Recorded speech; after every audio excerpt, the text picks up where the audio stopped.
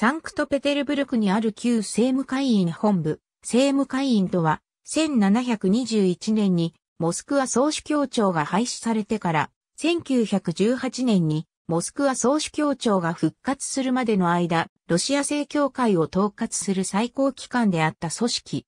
政務会員の管轄範囲は、教会のすべての問題に及び、世俗の領域の一部にまで及んだ。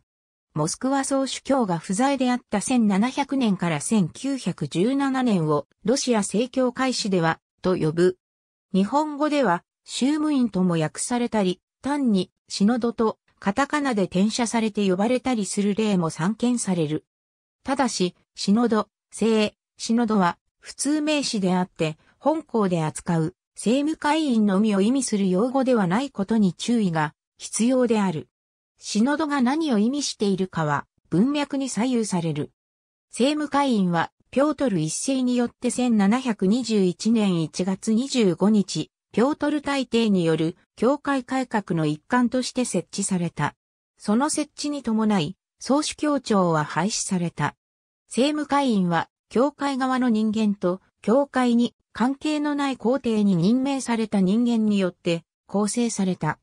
この中には、サンクトペテルブルク府主教、モスクワ府主教、キエフ府主教、グルジアのエクザルフがいた。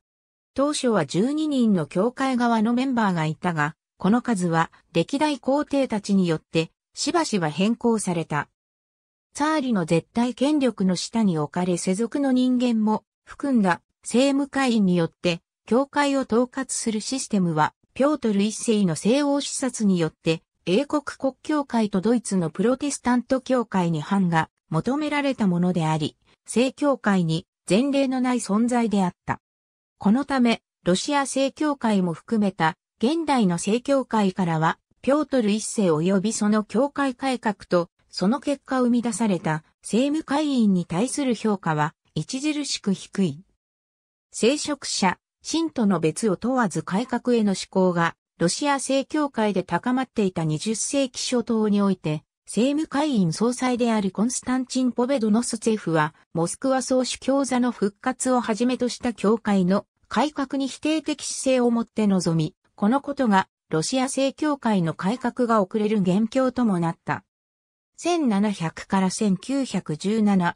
高橋康之、迫害下のロシア教会教文館、1996年、ISBN 47億6426万3254。ありがとうございます。